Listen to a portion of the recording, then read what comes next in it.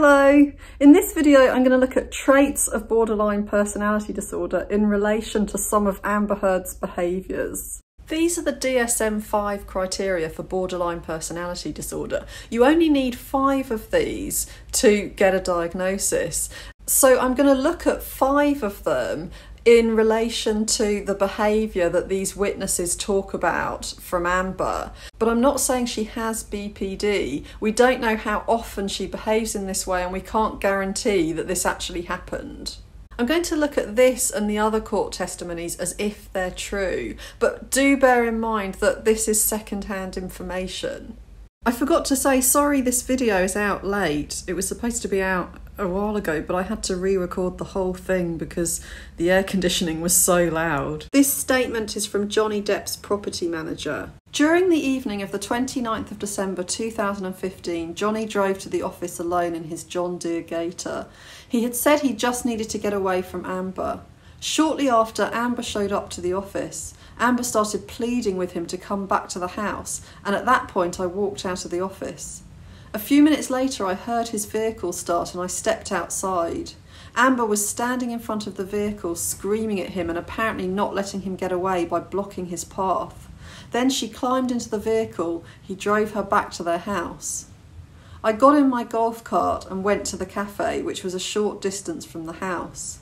I called Christi Dembrowski, Johnny's sister, as I was unsure how far this would go. While I could not hear what caused the fight, Amber repeatedly berated him with increasing ferocity. She was insulting him, calling him names, and in the middle of this onslaught, I heard her say specifically, Your career is over. No one is going to hire you. You're washed up, fat. You will die a lonely man. And also screaming things that were incomprehensible. At some point, Johnny tried to leave again as they were now in the parking lot.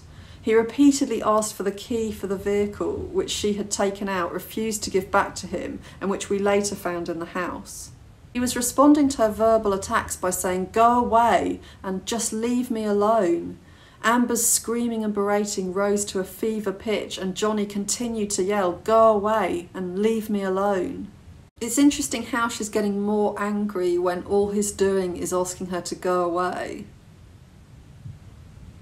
I asked Christi what I should do, and she said I should keep an eye on the situation. As Amber's rage continued to escalate and I described the scene to Christi, she said that I needed to intervene and I should go to Johnny's assistance.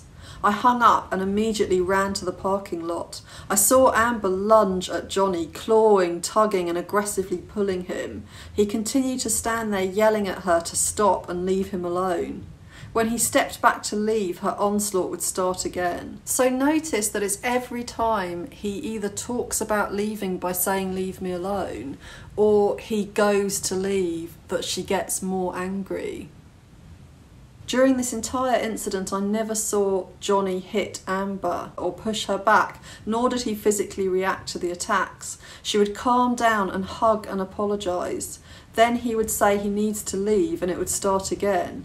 Finally, I stepped between them. She continued to reach for him, but maybe my presence stopped it. So Amber Heard got more angry when Johnny Depp was saying to her to leave him alone and to go away. That made her more angry. When we hear them talking about this, she actually says to him that she can't control herself when he leaves the room. You know, if they're having an argument and he goes, she can lose control and she can't promise that she's not going to hit him again. And and he explains that he leaves because she she is out of control. That's why he leaves, you know. He doesn't want to be there when she's throwing things at him or um, shouting abuse at him. So that's why he leaves. And then, of course, she gets more angry. This is another example of Amber Heard having a huge angry reaction when Johnny Depp leaves, you know, when he leaves the house. I got to the door at around 1.30, 2pm and knocked, but there was no answer. I could hear the ruckus inside. I opened the door, which wasn't locked, and saw Johnny in the foyer area of the house. He and Amber were screaming at each other. She was wearing a sort of green silk night thing. You might call it a slip. I shouted at Johnny words to the effect of, Come with me, you're coming with me. I then took his arm, trying to move him out, but he broke away. I said again words to the effect of, Johnny, come with me. It wasn't easy, but I did get him outside. I had the car door open, and when we were outside, Johnny said to me words to the effect of, Look at my finger. She's cut my effing finger off. She's smashed my hand with a vodka bottle. I saw his finger and it was a mess. He also told us that she had put a cigarette out on his cheek. I could see the mark on his face. Amber appeared at the door and then came close to the car, screaming and crying, calling out words along the lines of, Are you just going to leave it like this, you effing coward? Then she was saying, I love you, I love you. Is this how you're going to end this? She was not making a lot of sense. One second she was begging Johnny not to leave the house, and then she was screaming at him for running away. She was absolutely hysterical. I was worried that she might start throwing objects at Johnny or myself, as I had seen her throw objects before. For example, I had seen her lob a fork in Johnny's general direction once, and another time I recall she threw a lighter at him, another time a can of Coke. I knew that we needed to get out of there as soon as possible. I could see Amber's face very clearly. She did not have any marks on her face or arms. She didn't look in any physical distress. I was much more concerned about Johnny. He was obviously in emotional distress and panicking. He wasn't that drunk or out of it though, and was easily standing on his own and having a conversation. Why is she so scared of being abandoned? I mean, you know, if you're going to injure someone in those two horrible ways, then why would them running away even feel like abandonment? You know, wouldn't you expect it? wouldn't you expect that either they're going to do something horrible back to you or they're going to try to escape the craziness, you know, and, and, uh, and getting injured any further? So why would that even feel like abandonment?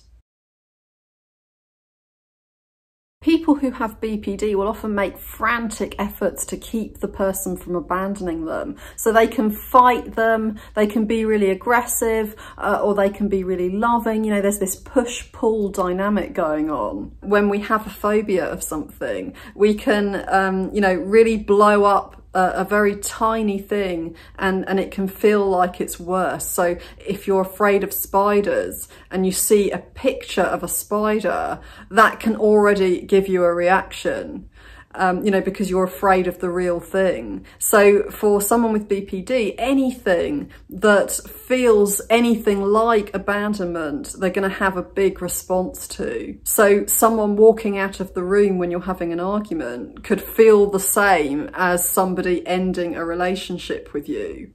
This is taken from the witness statement of Amber Heard's housekeeper, Kate James. From observing Amber and Johnny from the start of my employment, it seemed as though Amber was smothering him. She would follow him everywhere. She appeared to be constantly worried that he might leave her and would try to be in his physical presence as much as possible. Even when Johnny Depp was spending time with his friend who lived next door, Amber Heard found that unbearable. According to one of their audio recordings, it sounds like Amber Heard hit Johnny Depp when he got home and that she blamed this on the fact that he shouldn't have stayed so long with his friend next door. I'm in the middle of a massive thunderstorm, so that's why the sound is so bad.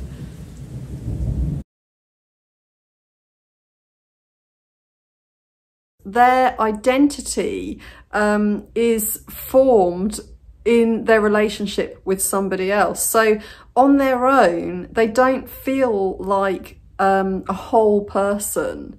They don't feel like they really have a strong identity or a strong sense of self. When they were children, they would have experienced trauma um, and they would have experienced not having their feelings validated. So that means that when they had feelings about different things, there was no one there to help them to take those feelings seriously. You might have a parent who's depressed, um, who isn't emotionally available for whatever reason. You might have a parent who um, doesn't want to feel your feelings because they don't want to feel their own pain. So they, they don't recognize any feelings you have that they don't want to see. If you have a baby and you hold the baby and look at the baby's face, you're gonna, if you can feel empathy, then you're going to follow the baby's expression. So you'll smile when, when he does, you know, or she does.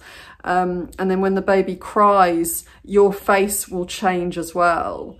Uh, you know, you'll, you'll have a sad expression. And the reason we do that is because we're mirroring how the baby is responding. So we need to have that not just as babies, but as children as well. We need to see that our feelings are reflected back you know if a baby looks at looks at his mum and she's smiling when he smiles then he'll know that um, you know, that the smile means something, that what he's experiencing has meaning and it get, you know, it gets a reaction from other people. So it's taken seriously and so it's real. And so that's how we grow as people. We build on our feelings and thoughts. We get to know ourselves through having people react to us.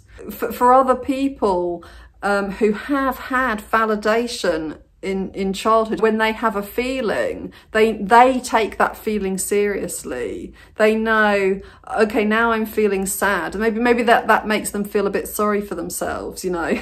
Um but if you haven't had a reaction to your feelings, then it means that when you feel them, it's like being in this big um, void. It's like, um, you know, just, just shouting out and no one can hear and that your voice doesn't come back to you. It's not reflected off anything. And so it's like you're not really there. When somebody with borderline personality meets their special person, you know, somebody who means a lot to them, who they think they can have a bond with.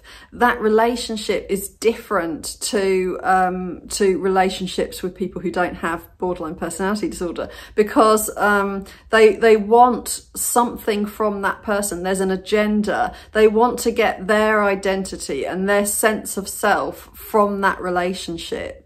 And so as a result, um, it's quite a parasitic relationship. Part of my role at the beginning was to help with the redesign of Amber's duplex apartment.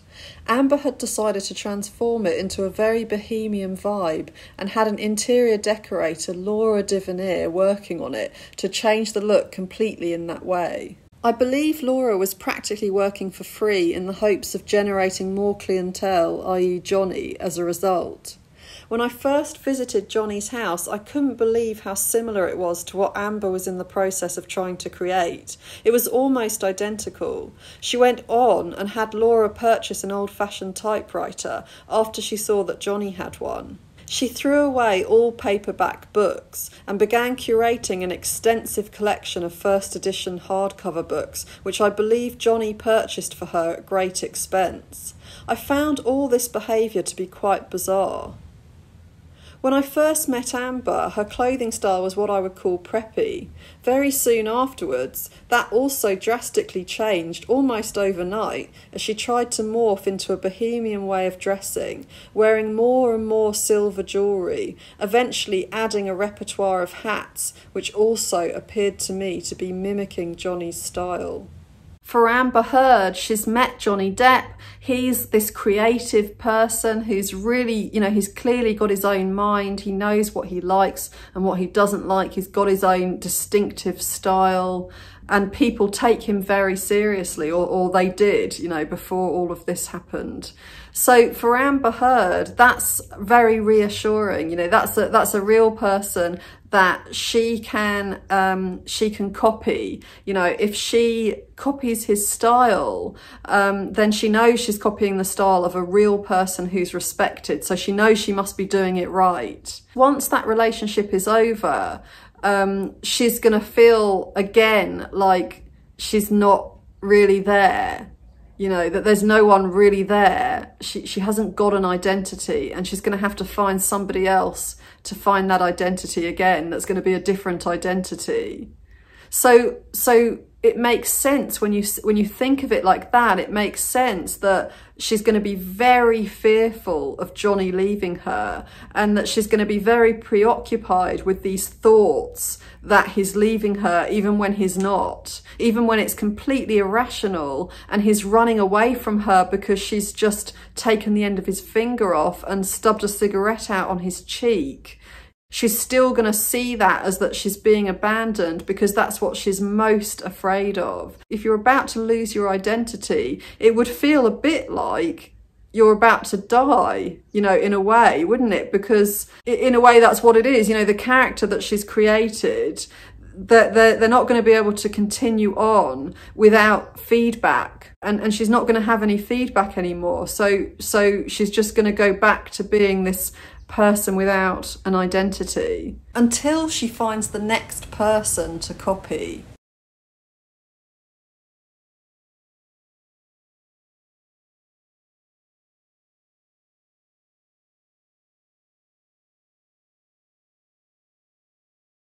So if we think of it like that, that she's in danger of actually losing her life, then it would make sense that she's going to be really, really angry with whoever takes her life.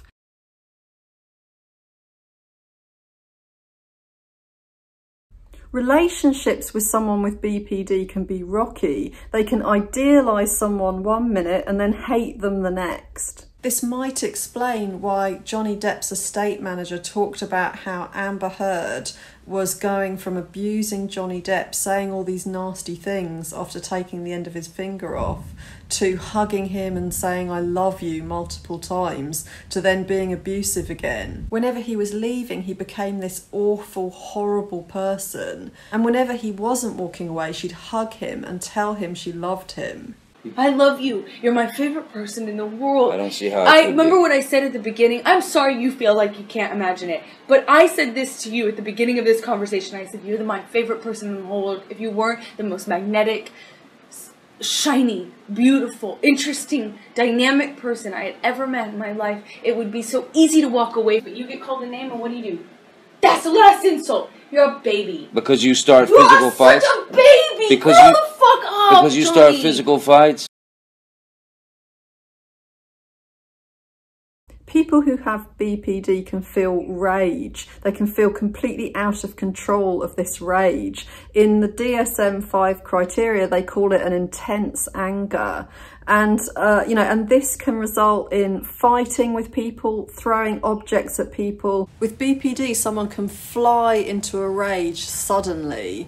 I, I did not start screaming until you had fucking said all the shit. You poke an animal enough, it is eventually, doesn't matter how friendly it is or how cool. True. So I have not done this to you. I have not said these things to you. I have not started to fight by saying I'm going to get in another room. And I'm not going to sit here and fight about fucking Toronto anymore. Guess what? I let it go. I'm not fucking about, I'm not fucking talking about Toronto. Not everyone with borderline personality disorder is going to be physically violent towards somebody. Some people will take it out on themselves. In fact, most people who have BPD will take it out on themselves.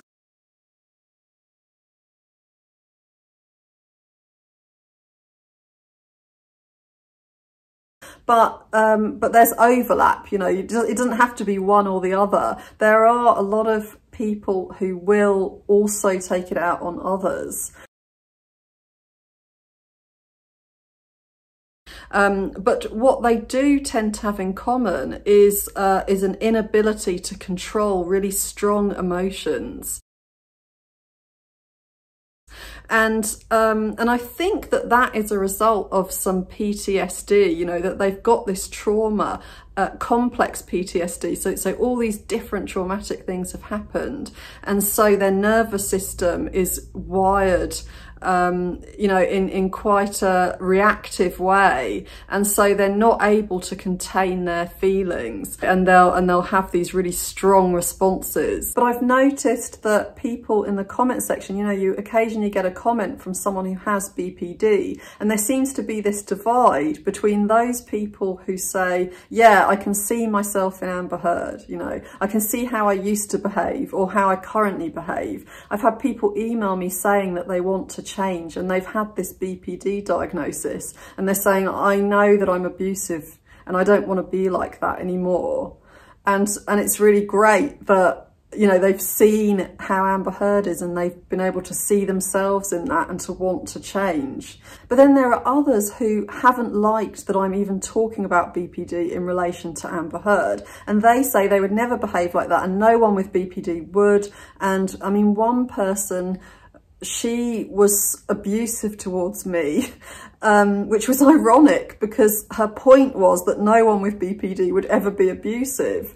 And she, you know, she was writing this really um, uh, aggressive uh, comment. I've talked about how somebody with BPD can idealise you and then devalue you. This is called splitting. So if this is going on, then you're going to know about it. You, you know, you're, you're almost definitely going to know about it, even if the other person isn't um, really, uh, you know, obviously abusive, even if they just ghost you or they give you the silent treatment. There's going to be some sign that you've gone from being the most amazing person in the world to someone that they despise.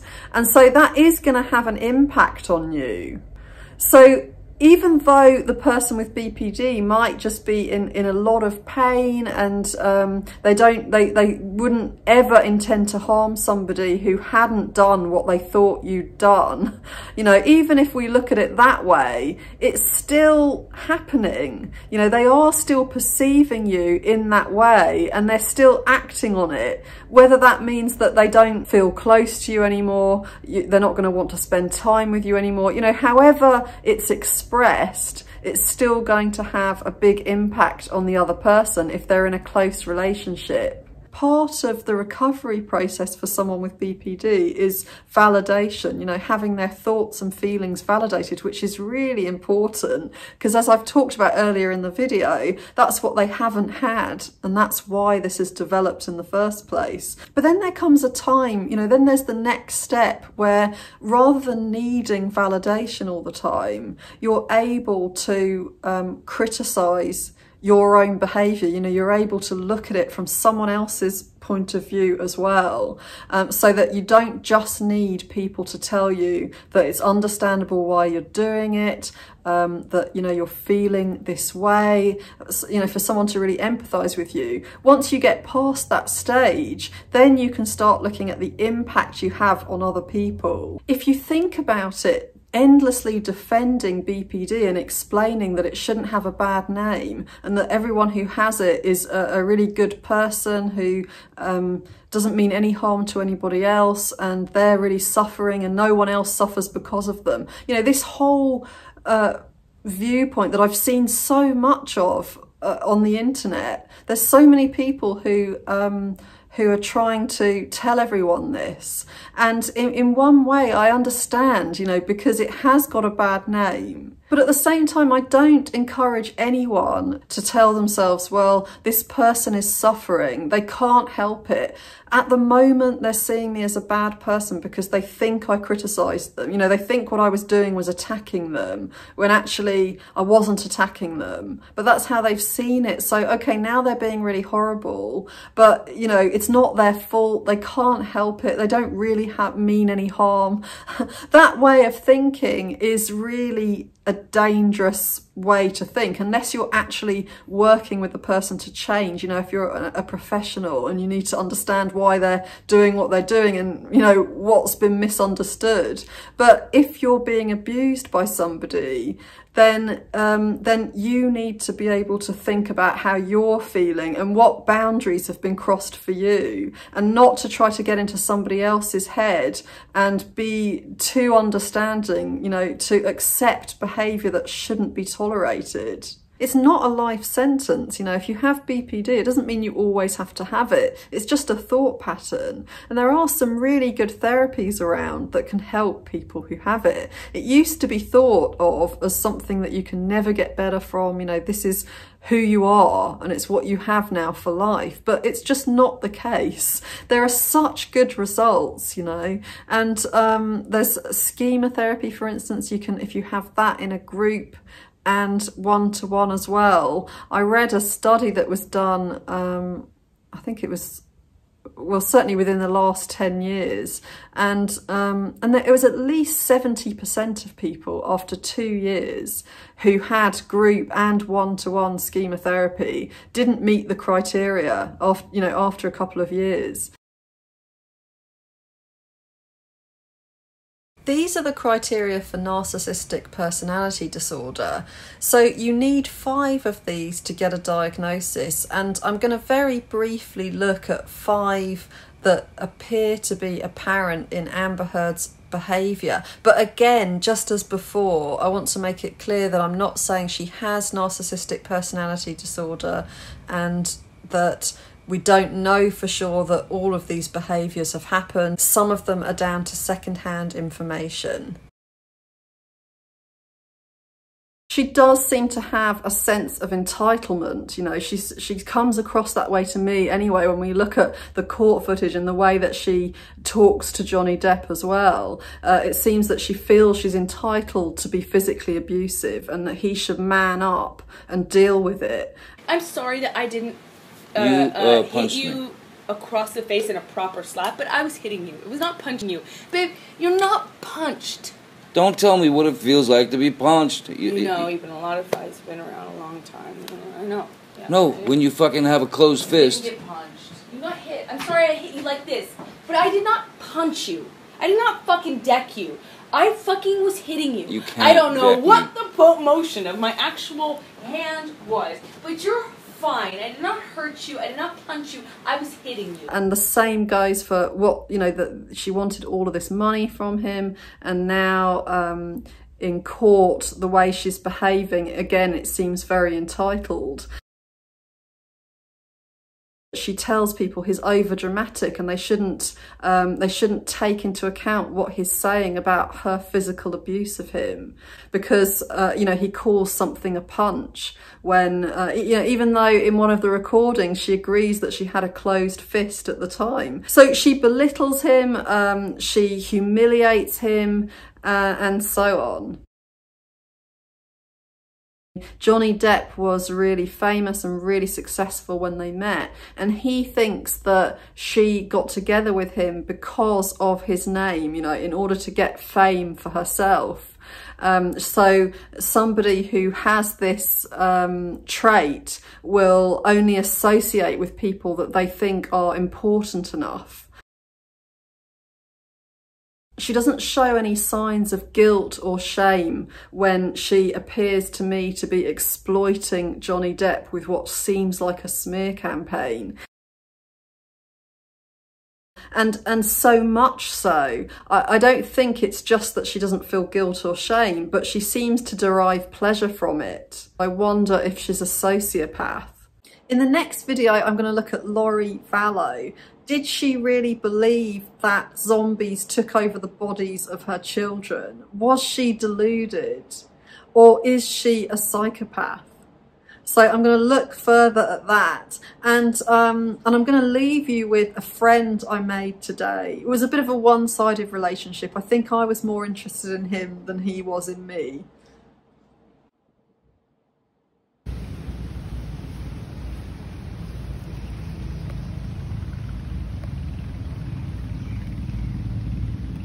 Beautiful Like a mini dinosaur.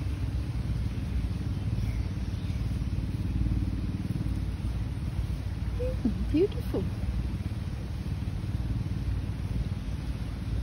Such long toes, haven't you?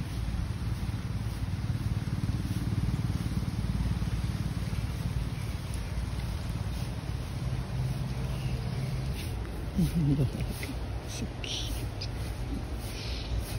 Such a long toe. Literally like a mini dinosaur. It's okay, I'm not going to eat you. It's you again.